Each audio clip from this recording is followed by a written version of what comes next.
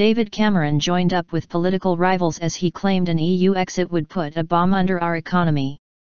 Alongside Labour's Harriet Harman, Lib Dem leader Tim Farron and the Greens' Natalie Bennett, he accused the Leave campaign of being reckless over the economic case for quitting the EU. His comments come as senior Tories trade blows over the June 23 poll.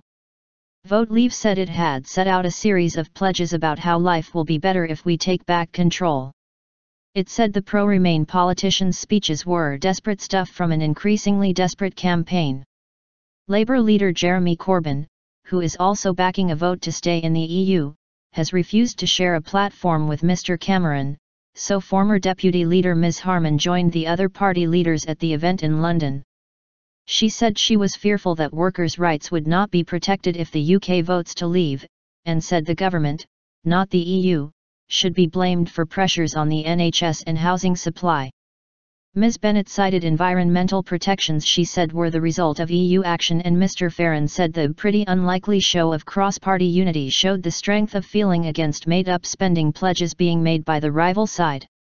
In his speech, the PM repeated his warning of a decade of uncertainty if Britain leaves the EU and accused the Leave side of sticking pins on a map over how a future trade arrangement would work.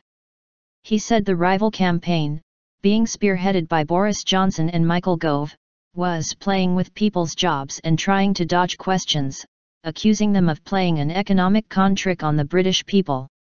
At a Vote Leave campaign event, Mr. Johnson said the benefits of being in the EU single market had been wildly overstated saying, the vision for taking this country forward is about taking back control. He said the UK could gain from free trade deals with China and the United States but that the UK could not do this as an EU member because such deals were controlled by the European Commission.